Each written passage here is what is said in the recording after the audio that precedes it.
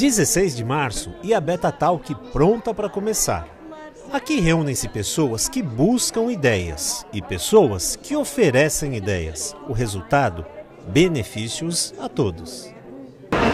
É março e março é o mês dos jovens aqui em Portimão. Por isso, a Beta Talk saiu de lá do tempo Teatro Municipal de Portimão e veio aqui para a SMAT, para ouvir os jovens, para participar com eles deste projeto, a Beta Talk, que fala de empreendedores, de pessoas que estão realizando sonhos, que estão investindo em algo novo em suas vidas. E por isso, hoje eles vêm aqui contar as suas experiências. Hoje recebemos aqui duas pessoas que têm vocação e têm um trabalho diretamente ligado com os jovens. Um deles é um empreendedor, empreendedor do ramo da moda, outro o empreendedor do ramo das danças. E eles vieram contar suas experiências, como começaram, onde estão hoje e onde querem chegar. E todos aqueles que vieram aqui para ouvir estas histórias, com certeza sairão motivados, animados e preparados para novos desafios que a Beta Talk pode trazer para aqueles que querem ouvir e aprender. Nascido em Lagos, Bruno Fonseca, hoje com 39 anos, trabalha na área de desenvolvimento de marcas. E, em paralelo, há pouco mais de três anos, criou a sua própria, a Repto.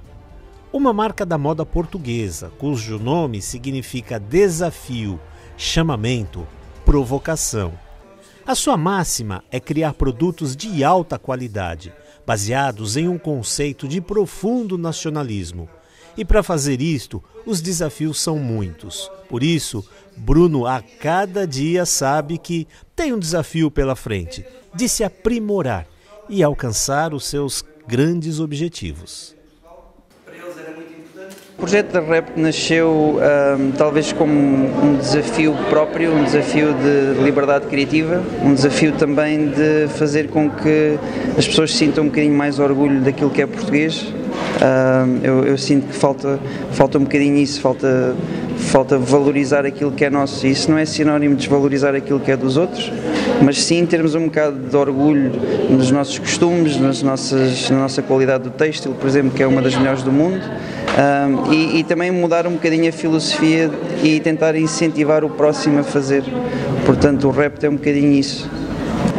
O rap vai chegar onde nos deixarem, mas a rap quer chegar numa primeira fase ao maior número de imigrantes possíveis, pessoas que estão espalhadas por, por outros países que são portugueses e que sentem esta questão do orgulho de ser português. Uh, na faixa etária que nós trabalhamos existe cerca de 4 milhões de pessoas portugueses espalhados pelo mundo, portanto a REPT vai tentar chegar a esses portugueses todos, ou o mais possível, e, e, a nível nacional tentarmos continuar a ter alguns pontos de venda e interação com as pessoas e contarmos a nossa história.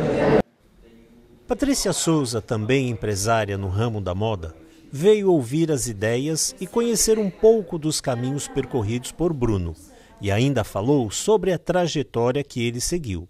Uh, em primeiro lugar, por ser muito parecida com a minha, porque só se tratam de produtos portugueses, uh, por ter nascido de uma ideia muito simples e por ter tido a ajuda de toda a gente, dos amigos, a incentivarem a que o negócio fosse para a frente. E pronto, quis ouvir a opinião de uma pessoa que tem sucesso na, na, dentro da mesma área onde estou agora. E isso foi muito importante, a história foi muito bonita, a história do, dele. Saímos da moda e caímos na dança. E empreender na dança não é fácil, mas é possível. Foi o que deixou claro Fábio Duarte, um setubalense de 31 anos que desde os 16 viu sua vida envolta pela dança de salão. Em 2014, abriu em Portimão a Dança Mais, um espaço que hoje conta com 15 modalidades diferentes, 11 professores e 350 alunos. Na Beta Talk, Fábio contou que fazer o que gosta faz toda a diferença. Como eu faço aquilo que gosto, acaba por facilitar bastante, não é?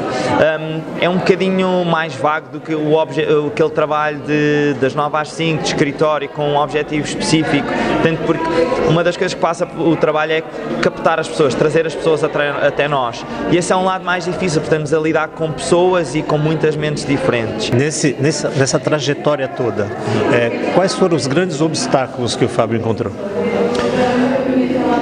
Uh, aqui, no, aqui no Algarve, por exemplo, foi a questão de quando eu tentei mudar para cá, o facto de não haver respostas, de, de haver assim algum, algum tipo de, de travão, portanto não, eu não vinha muito bem, ah, não sabia para o que é que vinha porque não conseguia obter nenhum tipo de respostas. Um, esse foi o lado um bocadinho mais complicado. Uh, e depois há sempre, há sempre quem, tem, quem tente de certa forma meter algum entrave, há sempre algumas coisas assim, mas é ou tentar fazer bem e tentar ser bem sucedido, uh, muitas vezes é, é o lado mais difícil. Uh, as mentalidades no global são complicadas, portanto, esses, esses objetivos. Arranjar um espaço onde me fixar não foi o mais fácil de tudo, mas Pronto. Um bocadinho, um bocadinho assim. Mas eu acho que até tenho tido a sorte no global ter pessoas à minha volta que me têm ajudado muito mais do que aquelas que têm tentado fazer alguma coisa contra. Depois de ouvir os empreendedores, Tiago Paz, um jovem estudante que veio pela primeira vez, falou o que foi para ele a Beta Talk.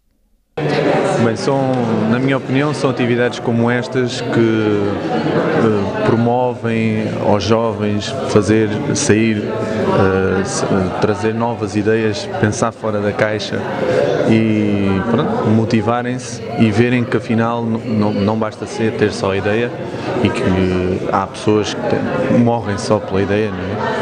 E são pessoas que vêm aqui com este tipo de filosofia que temos que ir para a frente, pegar nisto, ir mais além penso que, que motivam a muitos outros que estão cá e que também podem ter uma ideia e pronto, basicamente a mensagem é não desistam, lutem, porque se existe, se existe na nossa cabeça é porque realmente é uma boa ideia. E esta foi a Beta Talk no Março Jovem. No dia 17 de abril, ela estará de volta à sua casa no Tempo, Teatro Municipal de Portimão. Até lá!